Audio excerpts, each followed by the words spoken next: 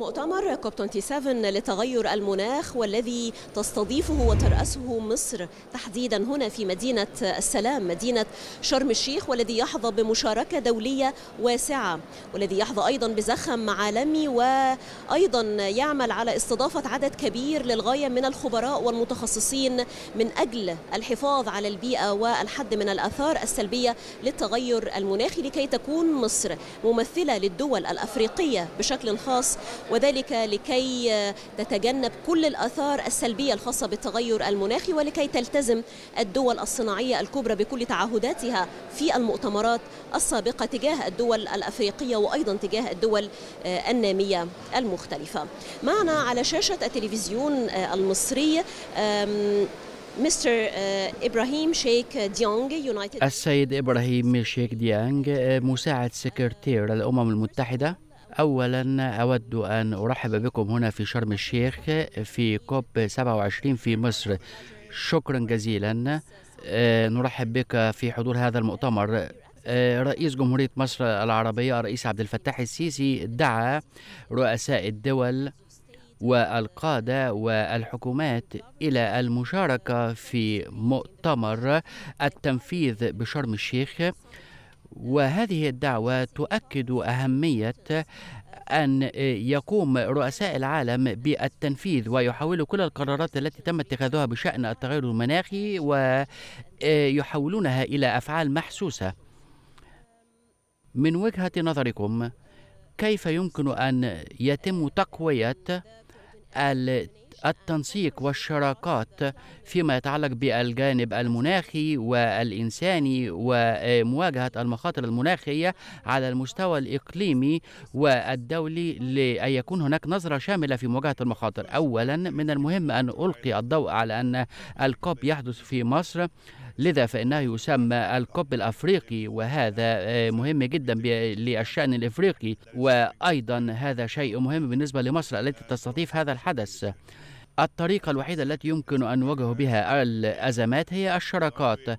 الشراكات في أنظمة الإنذار المبكر الشراكات والتمويل الشراكات والتنفيذ الشراكات وأن ينخرط كل أصحاب المصلحة. حين نتعامل مع مصر فإننا نحتاج أن يكون هناك احترام للالتزامات الخاصة بالمناخ. وأيضا نحن نتعامل باعتبارنا جزء من الاتحاد الأفريقي وجزء من الأمم المتحدة والشراكة هي الطريق الوحيد للحل. كيف يمكن أن زيادة ونشر أنظمة الإنذار المبكر المبكر حتى يستطيع أصحاب المصلحة على المستوى الإقليمي والدولي أن يتجنبوا آثار التغير المناخي.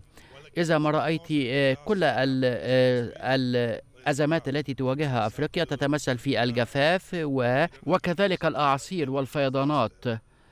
و... و... لا وجميعها لا ترقى لمستوى الكوارث إذا ما كان هناك أنظمة إنذار مبكر بالطبع. وهذا سوف يساعد على اتخاذ الإجراء المناسب. إذا فإن أنظمة الإنذار المبكر مهمة جدا وضرورية جدا.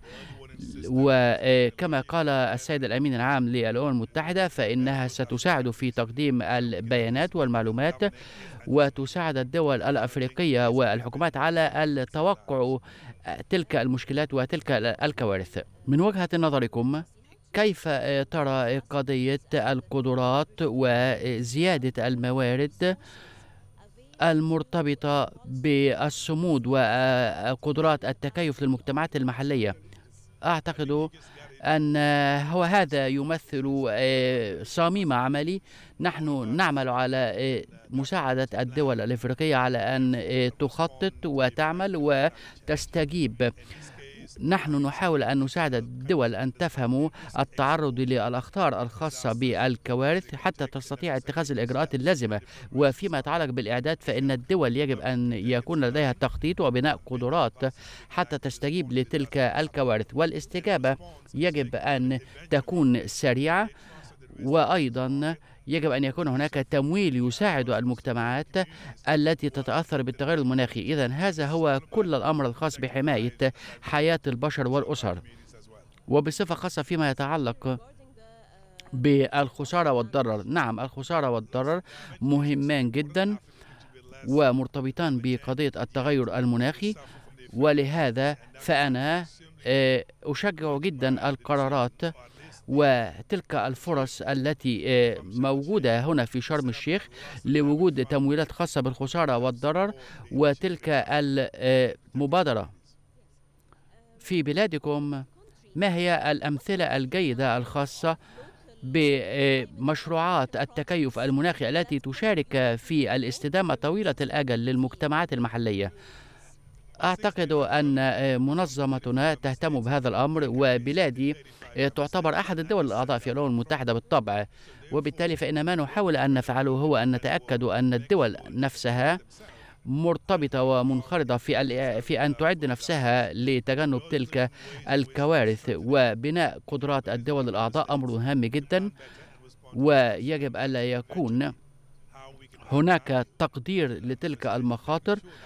ونحن آه، يجب أن نكون جزءا من الحل وليس جزء من المشكلة. كيف يمكن للتغير المناخي يساهم في مواجهة الحاجات المجتمع الدولي فيما يتعلق بالشباب والمرأة؟ واهتمامنا الأساسي أو اهتمامي أنا على الأقل هو أنه يجب احترام التمويل فإننا سيكون لدينا تحدي آخر وهو الوصول إلى تلك التمويلات. إذا توفير الميزانيات أمر مهم جدا.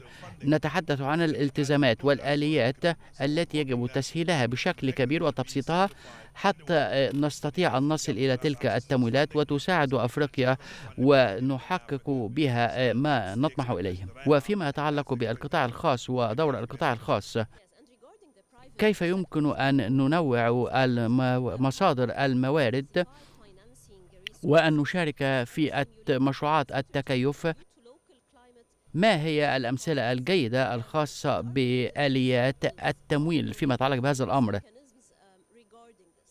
القضية هنا في شرم الشيخ كما ذكرنا ليست قضية الحكومات لدينا القطاع الخاص ولدينا المنظمات الغير حكومية ولدينا أصحاب المصلحة إذا هذا لدينا حوار متعدد الأطراف وأعتقد أن في حالتنا فإن الطريقة التي نبتكر فيها حين نتحدث عن التمويل تتعلق بالدول الأعضاء وأيضا الأسواق.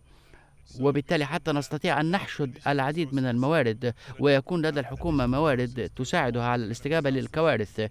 القطاع الخاص عليه دور كبير يجب أن يلعبه ويجب أن نتأكد أنهم على على الطاولة ويكونوا جزء من حل المشكلة. وبالتالي هم عليهم دور كبير يجب أن يلعبوه. وأيضا القطاع العام وكلا الجانبين يجب أن يلعبوا آه، دورهما. وفيما أيضا يتعلق بالدور الذي تلعبه المنظمات الدولية وفيما يتعلق بالتبني المشكلات المتعلقة بالتبني القضايا المتعلقة بالأزمات والكوارث. يجب أن تسمع كل الأصوات وهذا أمر مهم جدا. وهنا في شرم الشيخ نجد أن هناك انخراط لكثير من الأفراد وأعتقد أنه من الأهمية بمكان. إذا ما كنا نتحدث عن التمويل المناخي فإننا يجب أن نفهم ما يعنيه هذا الأمر. ولهذا فإننا اهتمامنا الأساسي بهذا الأمر. دعونا نأمل أن حين يكون نصل إلى مرحلة التنفيذ فإننا تكون هناك أيضا المنظمات الدولية أيضا موجودة. وبالتالي حتى نضمن ألا يترك أحد خارج الركب. أخيرا فإن المؤسسات المالية ما هي العوائق الأساسية التي تعيق الاستثمارات؟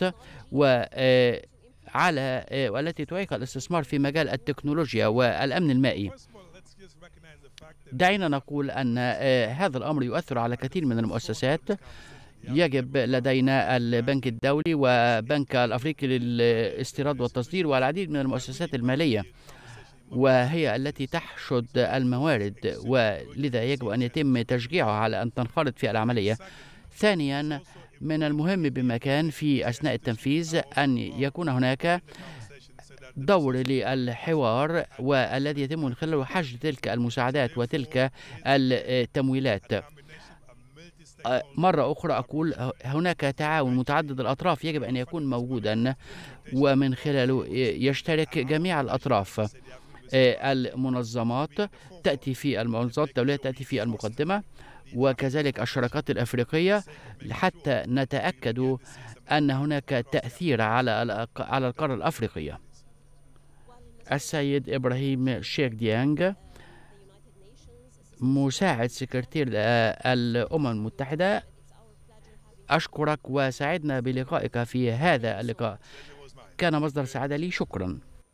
ومشاهدينا ما زلنا مستمرين مع حضراتكم في التغطية الخاصة بكل الفعاليات لهذا المؤتمر الضخم مؤتمر كوب 27 لتغير المناخ من مدينة شرم الشيخ.